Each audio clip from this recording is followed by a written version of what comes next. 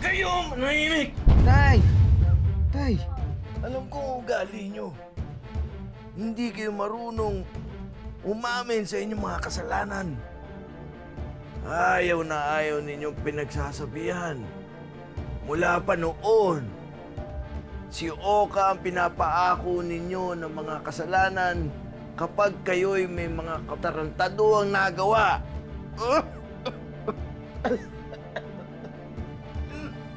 Tay, ngayon pa ba tayo magsusumbatan? Hindi ka na nasanay, Ate Glenda. Siyempre, si Oka ang paboritong anak. Siya ang kakampihan.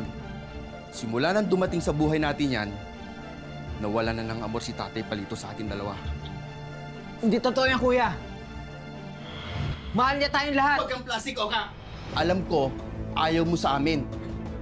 At ayaw din namin sa'yo. Hindi ka namin matatanggap na kapatid dahil anak ka lang sa labas.